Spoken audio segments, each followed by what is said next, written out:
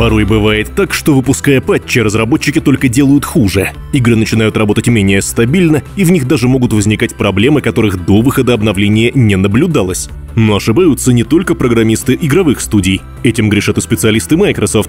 Недавнее обновление 21H2 для Windows 11 буквально сломало Western Red Dead Redemption 2. Творение Rockstar Games перестало запускаться через фирменный лаунчер. При нажатии кнопки Play просто ничего не происходит. Microsoft уже признала проблему. Компания пока совершенно не понимает, как так получилось, и лишь рекомендует поставить другое обновление за версией 22H2. Подчеркивается, что как только будет обнаружен источник ошибки, Microsoft опубликует соответствующее объявление. Обратим внимание, что корпорация сейчас разрабатывает новую модульную операционную систему. Предположительно, проект будет анонсирован в 2024 году одновременно с Windows 12. Всем привет, это GSTV. Сегодня пятница, 31 марта 2023 года. У микрофона Павел Сергазиев, и вы смотрите главные новости игр последних дней.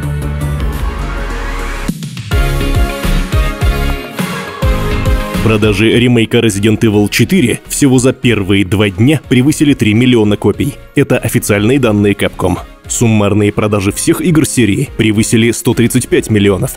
Компания связывает хорошие продажи прежде всего с успехом демоверсии и высокими оценками критиков. На какой платформе Resident Evil 4 востребовано больше всего, не уточняется. По всей видимости, продажи ремейка примерно сопоставимы с показателями Resident Evil Village. Та за первые 4 дня добралась до тиража в 3,5 миллиона экземпляров. И новинка совершенно точно успешнее всех остальных ремейков франшизы. Обновленная версия Resident Evil 3 продавалась заметно хуже. За 5 дней ее купили лишь 2 миллиона раз. Это, в общем-то, тоже было прекрасным результатом. Слово «лишь» актуально исключительно в сравнении с Resident Evil 4. Относительно Steam, как мы уже говорили, это определенно самая популярная игра серии. Пиковый онлайн достиг 168 тысяч человек. Параллельно в сети набирает обороты забавный флешмоб.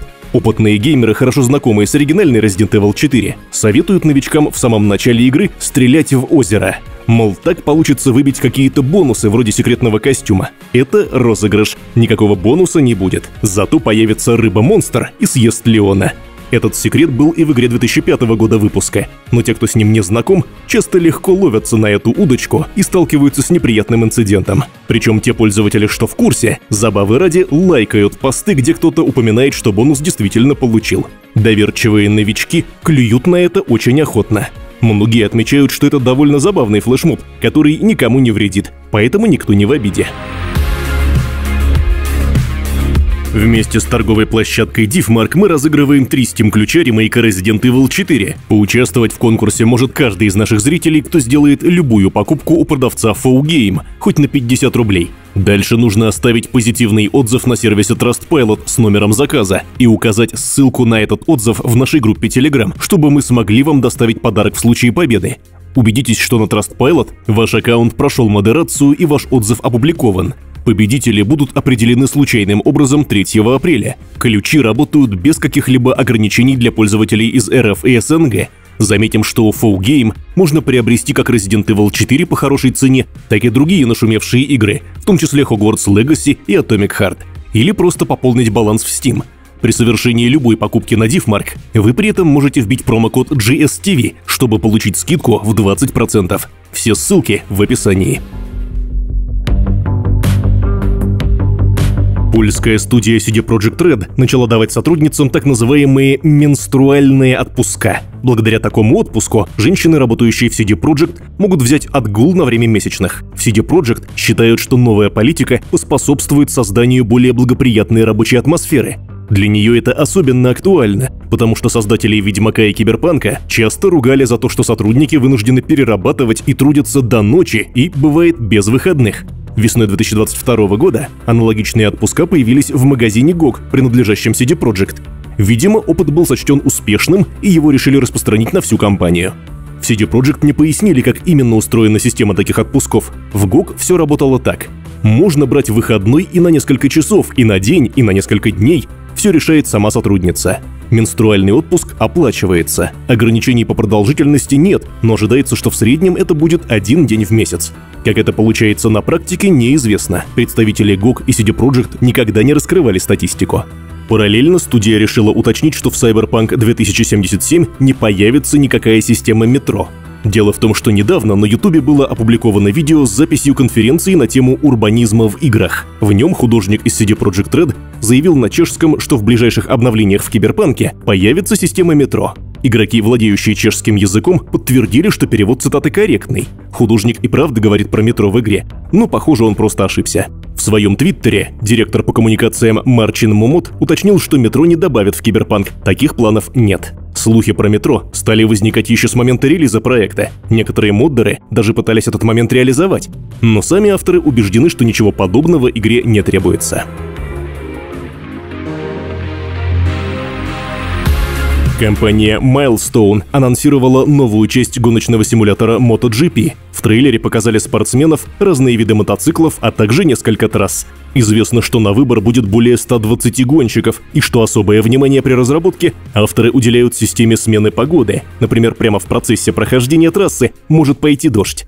Также в игре будет действовать режим карьеры, призванный дать игрокам свободу в построении собственного пути к становлению легендой двухколесного спорта. В основе этого лежит введение Turning Points, которые влияют на карьерный путь в зависимости от полученных результатов и принятых решений. После дебюта в финальной части сезона Moto 3 можно будет быстрее продвигаться в различных классах в зависимости от достигнутых результатов. Turning Points отразятся в частности на поиске контрактов и на развитии мотоциклов во время сезонных тестов. Впервые в истории линейки в MotoGP 23 также будет представлена симуляция социальной сети для взаимодействия с гонщиками, командами и производителями, позволяющая завязать дружеские отношения, но и раздражающая соперников, поскольку искусственный интеллект будет вести себя по-разному во время гонок в зависимости от поведения игроков в социальной сети. MotoGP 23 также предложит различные варианты многопользовательской игры, как онлайн, так и офлайн, с поддержкой кросс-игры и даже локального режима разделенного экрана для двух игроков. Релиз состоится 8 июня на всех актуальных платформах.